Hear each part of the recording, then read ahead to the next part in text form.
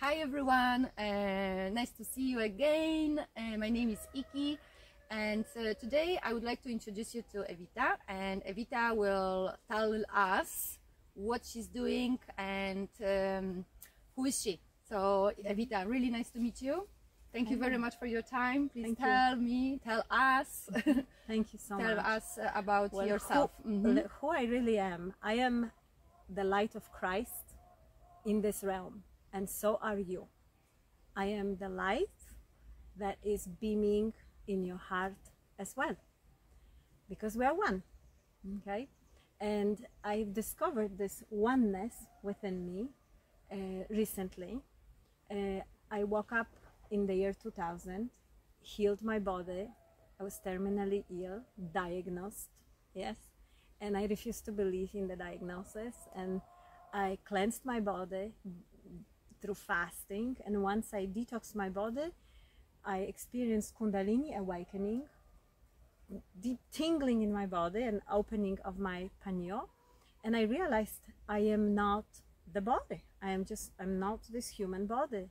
And I'm not a persona here that I pretend to be. I can use that identity, but I am, I don't have to identify with it. Yes. I realized that I'm not alone. I started to, I started to feel the presence of my guides and receive guidance and that path a path has opened up that it's been a path of freedom.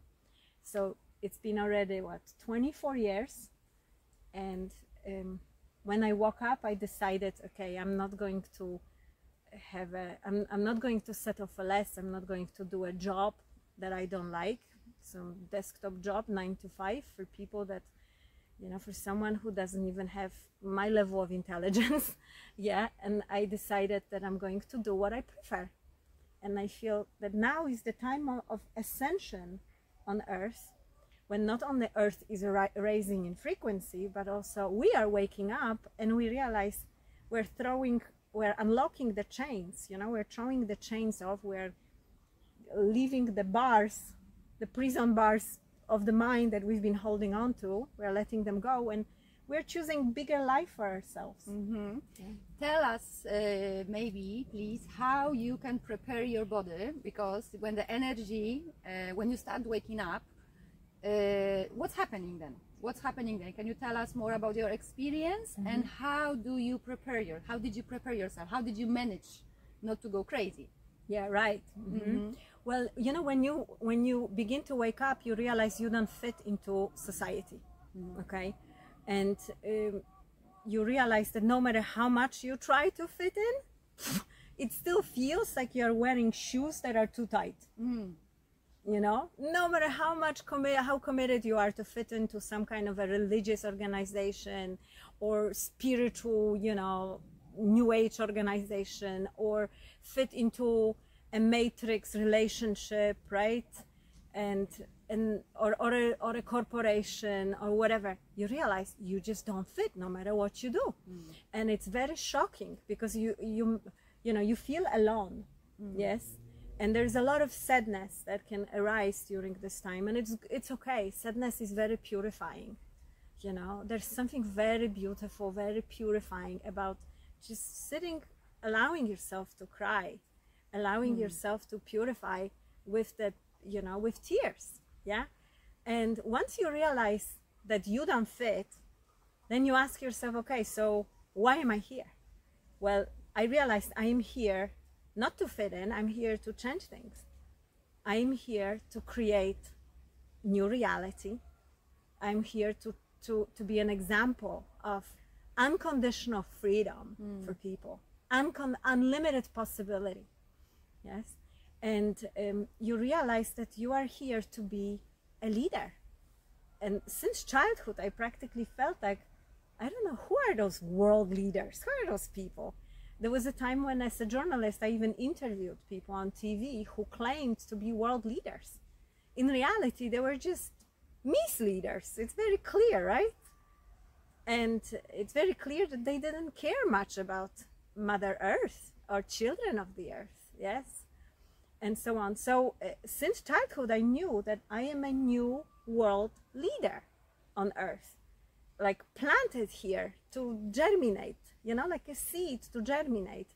And it did not make any sense at the beginning, but um, the more I awaken my consciousness, the, the more I realize, aha, certain people were scared by my presence, yeah, triggered, and so and that is fine. Because when they actually, you know, all those so, so-called narcissists that all of a sudden get activated, once you wake up, all of a sudden you piss off a lot of people.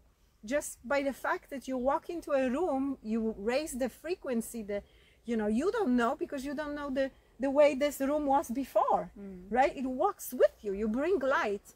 And and you know you you might trigger certain people who are part of this simulation they are like sentient programs of the matrix software that can basically be, be activated and weaponized to stop you on your journey and guess what? The more they, they want to stop you, the more pressure they provide. Mm. When they provide pressure, this carbon body, yes, we know that we have we, we incarnated into this technology. Our spirit animates the human body, this avatar. That's our body technology.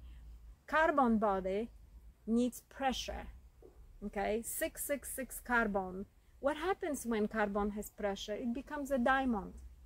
Okay, so um, during the ascension process, we have a choice. We can descend and vibe on the frequency of fear and anger and jealousy and frustration and try to mm-hmm. try to fit in.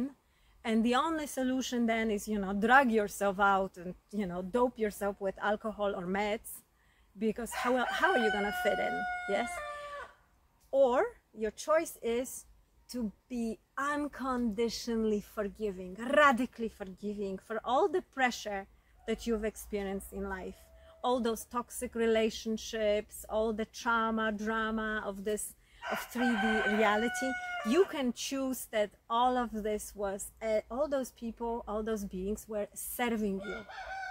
And I have to sorry you here, and I want to ask you for next video. We're gonna make it. We're gonna make uh, how to go through this process of radical forgiveness, step by step. Fantastic. So the next Yes. video will be about this, like how to do it, because it's a process which needs a little bit of explanation. But I've done it, and it's amazing. It's very profound because they're teaching us now, like how to be in peace, how to forgive. It's like oh, it's easy to forgive, but it's not so easy. You have to go really deep into you Yes. And be Uh, very authentic. very authentic and then you can dissolve this but this is gonna be in the next program. But tell us now only uh, one more thing please tell us like how to prepare the body for this uh, ascension. How to live your lifestyle like because i can yes see like, exactly. how that's do you you yeah. asked about Mhm. it yeah so you know there was a um, in in june 2020 uh, on around june 23 schumann resonance on earth went haywire. Uh, many people called it the rapture wave and a group of people on earth were pulled out of matrix. And um, the way i felt it in my body during this time time period basically was like a huge voltage of light that was piercing like beaming through into my brain like a vertical column of light that wanted to ground itself. And you know if not the fact that i've been detoxing for years like um, doing coffee enemas, drink, uh, waking up in the morning, doing salt water flush, Ayurvedic salt water flush. You can look it up. Um, you know, you can look it up on my channel, or you can Google this, right? And uh, juice fasting, practicing intermittent fasting, yeah. Um, even or spending a lot of time on on in nature, bare feet on the ground. Even now, as I'm speaking, Iki can testify. I'm standing Yes, bare feet on the earth. yes It's quite muddy here, but it's energy flows, and I'm able to deliver more, uh, more light, more wisdom than otherwise when I had my shoes on. Yes. So um, preparing your body is key. Super hydrating. Yes. Like for example, absolutely every single day I drink water with a little bit of uh, salt. I highly recommend here Celtic salt. Celtic salt, Okay. yeah Or Mhm. Himalayan salt. Yeah. or in poland we have kłodawska yeah authentic non-iodized salt okay and a little bit lime or lemon and just hydrating, super hydrating on this. Because basically, in order for our body to transmutate, yes, and shift from carbon density and become more crystalline, become more silica, so it shifts from 666 carbon to 6, 616 silica crystal, okay? It's very little shift, but it's in order, all the cells need to mutate, yes? So in order for that shift to happen and raise the frequency of the body, the body needs to conduct energy and water is highly conductive. We live in a water world. Yes, this our realm is filled with water. That's why it mirrors what is inside. It's it's it's reflected in our outside experience as a living mirror right? So number one is super hydration detoxing your body. And you know when this huge voltage of light came to me it was with me day and night for like 10 days. I, I was just wondering like is this going to be like intense like this all the time that i'm going to walk with a pillar of light like you know, streaming. I literally felt like plugged into a high voltage of light from here. And then, and I, I was like researching what is going on with me. I don't know anything, any mystic, any other experience that I can actually speak with. I would say some, I researched that it's some kind of a stellar gateway that has opened. Yes, mm-hmm. some kind of a stellar portal. So, um, when this energy came in, sometimes I had so much headache in the night yes? And a lot of you i know a lot of you have different ascension symptoms yes? So what helped me sometimes in the night i just knew my my guides were almost telling me like hydrate. I would wake up the fastest way to hydrate is coffee enema yeah? And you know they taught us all sorts of taboo that oh you know don't do this don't do that because that is a medical procedure and blah blah blah. Well it is you know my the way i'm looking at it it's my body my kingdom. Mm. and i do i'm a sovereign being. I do whatever i want with my body. I do whatever i want in my life.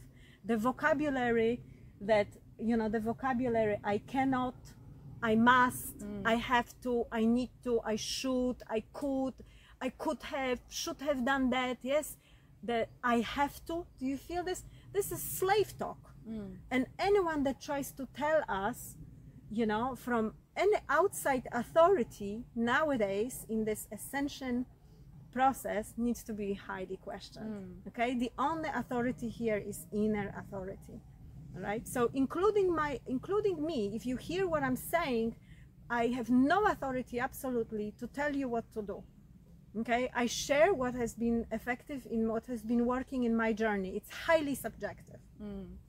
Exactly and i uh, my journey i started like 10 years ago and uh, universe is sending me people like evita to just confirm that i am on the right path because i also felt many times alone. I cried and i didn't fit in this world and you know it's very difficult when you are you cannot fit to the society right it's very like uh, what's wrong with me but actually now uh, from day to day i feel stronger i feel happier and i want to continue live like that because i feel like i found myself and i do what i feel like not like someone told me to do things yes but this exactly. is the story so i am i want to ask mm -hmm. you something because mm -hmm. yesterday we had a very interesting conversation i would like you to share this that you know when you woke up one of the things that you've done was what? You quit your job and you started to travel around the world. Yes. How has been the universe taking care of you? Exactly. So when i decided to get out of the system and uh, i didn't know where i'm going like well i knew i feel like i need to go to spain to ibiza on that time but i didn't know how i'm gonna how i'm gonna support myself you know with the job language and suddenly everything started to appear. Right people right places. And since 2015 i traveled the world. I've been in argentina south africa united states uh, europe around the europe. I don't have a job like monday to friday. I am free person. I I have always money. I have always abundance and around me. show up as exactly. you need them. I have a yes. beautiful food. I have a beautiful experience. Beautiful right. people. Mm -hmm. I don't have a fears. you know sometimes it's like what i'm gonna do but then it's enough to just as evita said go to the nature sit with yourself and then you will hear the whisper like go there but don't go with your head just always go with your heart because there is the answers Yes. so you have to trust. You have to That's trust right, and this is how we And- live the life now. Yeah and number one you know during the ascension process is um, vote with your feet and remove yourself from toxic people right? Toxic environment and so on. And it requires a lot of trust right? Because you know part of us would like to keep our marriage working. I mean it's just there's so much pressure like shame on you that you divorce right? You you know break the, the marriage and so on. And in reality it's like who says so shame on me? Maybe i bring freedom to both of us right? You know? So it's a it's an act of uh, saying no in a neutral state you know? Just saying no just like you say yes yeah? And if no is not received and understood if you are not growing on the same path if you're not growing in your job then why staying there? Exactly. It's not You know- just about the relationship no but it's in about any every- context Exactly. of life you know Mm. whether it is even also political right? If the society wants you to do something because somebody important on television says so you basically refuse consent. That's it. Mm. this is your realm. You live in a private very very little world of yours okay you uh, imagine the the reality is not we were told that we share this world like completely that it is you know there is this society we have to fit in right and be cookie cutter the same and in reality from quantum perspective uh, the truth is that I have my own quantum realm and Iki has her own quantum realm. It's like a reality bubble, and you have your own quantum reality, quantum, your universe, right? And in that universe, you are 100% sovereign and free, Mm. unless you settle for less, unless you walk off the throne and allow someone else to sit there Mm. be it someone religious, be it your spouse, your boyfriend, girlfriend, if you make a false god out of someone or something in your life, even opinion of other people, right? Mm. You're going to end up living on the orbit of your own reality. Yes? Out of alignment. And it's time now. Ascension means what? To ascend to the throne, right? King ascends, the rightful king. So now is the time to ascend to the throne of your quantum kingdom. Yeshua said the kingdom is within you, Mm. right? So when you sit on that quantum, on in the center of reality, from the center, first of all, your even your spine gets aligned vertically because now you're not circumambulating, walking on eggshells around somebody's, you know, feelings, opinions, and so on, right? All of a sudden, you stand in the center of reality, and from the center, you relate to people. All the people come to you, but you don't walk off the center. You don't walk off the throne of your. You don't give your power away. Mm. Makes sense? It's a different way of relationship. Yes, here in every single context, and it re, your body responds immediately when you occupy the center of your toroidal field of your quantum realm. Immediately, the spine gets aligned, digestive system gets aligned. Okay, works better. Uh, all of a sudden, you have you have a lot of energy. Mm. Okay, mental clarity Mm. confidence you're not a people pleaser anymore okay you all of a sudden you are in a place where you can give out of your uh, own generosity and receive with your with gratitude and with with grace yeah you're not a beggar anymore you are the king of your kingdom Mm, amazing. So um, thank you very much for now. Uh, we will have uh, more videos for you, more informations. Uh, and but for now, I'm really Thank you so really much. happy. Thank you for your Thank time Okay, and uh, to to the next video. Thank Okay, you so bye-bye. much. thank you Thank you. wow what an amazing thing yeah